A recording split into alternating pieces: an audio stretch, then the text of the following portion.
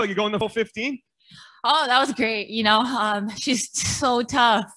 Um, that was awesome. I got to display, you know, a lot of things that I haven't been able to, and just the growth of this whole last camp, a full length camp. So um, that was awesome. I threw kicks and everything in that fight. So yeah, that was exciting. I'm sure quick finishes are cool and all, but do you think there's a lot of value in there going in, being able to get those minutes in the cage? Oh yeah, you know, every time I go in there, I feel a little bit more comfortable. This time, you know, I was able to take in the experience and. Uh, I definitely felt more comfortable. So the 15 minutes is there. You know, I know I have my my cardio is there, and I don't know how when that ended, how much was left of that third round. But no, it felt good. It felt good to go back to my corner. Okay, you know, recollect and start a new round, fresh round. And so yeah, it was a great experience. I I love that. Were you surprised? I know the fight was stopped towards the end there, but were you surprised that that she was able to absorb all those punches? I mean, your striking accuracy, that the numbers they showed was was so high, but she kept coming oh forward. Oh my goodness, she is so tough. That girl. I mean, I give her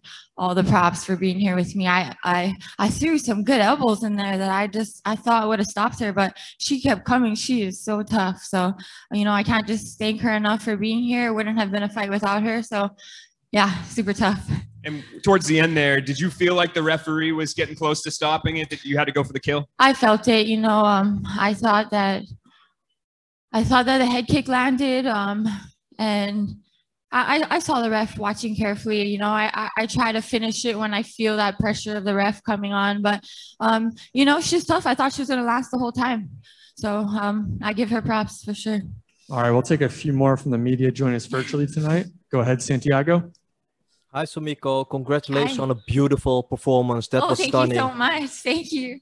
Bellator has visited Hawaii in 2018 and 2019, but you weren't on the roster yet, Sumiko. How special would it be for you to fight on a Bellator Hawaii card in the future? oh, so amazing. I, I attended both of those events. I, you know, Hawaii supports every all all fighters. So I was there supporting both of those events and it was amazing uh, fighting in front of my home crowd would be an honor. So I hope everybody, uh, Bellator, they love Hawaii. They're so amazing. Um, it would be awesome to have them come back for sure. Enjoy the victory, Sumiko. Thank you so much. Keelan? Hi, Sumiko. My name is Keelan McNamara. I'm from MMA Island. Massive Hi. congratulations on a brilliant performance. Thank you so much. Not at all. Um, my question for you is actually in relation to your fellow Islander, Ilima-Lei Macfarlane. Of course, she's an incredibly impressive fighter in her own right, and she's number one ranked in your division. Is she someone you look up to? And have you ever had the chance to talk to her and receive any advice from her in relation to fighting?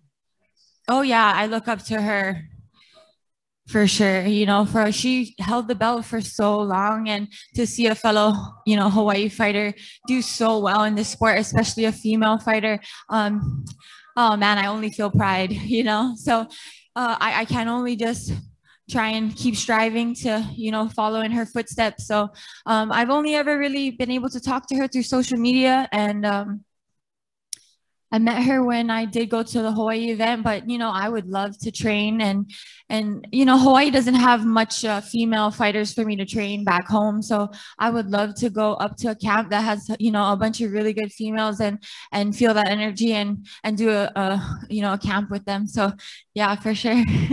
we'll take a couple more, Dylan. Hey there, appreciate you making some time. Hi. I was just noticing the Instagram post you had yesterday with the Lady Samurai 2.0 cap.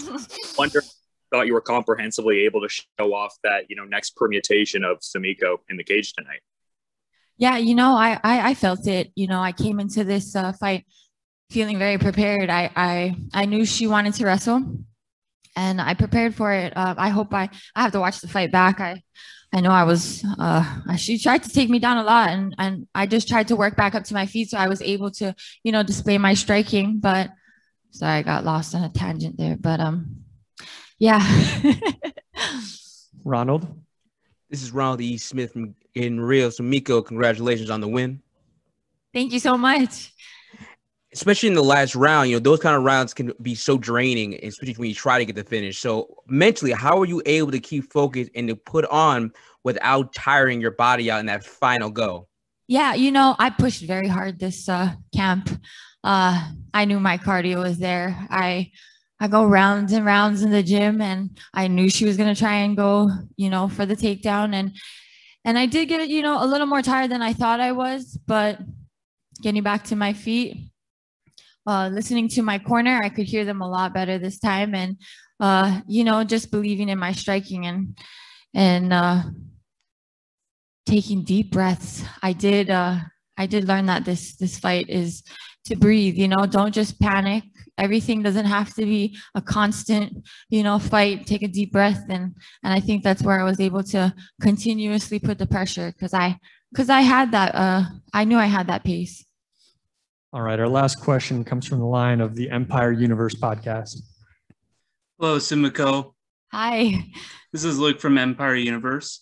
Hi, how Uh, are you? congratulations on the win, first of all. Thank you so much. So, I mean, you got two finishes, two finishes in Bellator. I mean, what what's next for you? What's what's next in 2021? Oh yeah. I would love to come back here. I don't know how long Bellator is going to be in the Mohegan Sun, but this place is amazing. I every time I come here, I am amazed. Uh, it's beautiful. Um, I would love to be back here. I hope they are here for my next fight, but you know, go back home, work on a few things that I know I still need to work on, uh, and come back and put on another show for Bellator. Great. Thank you so much.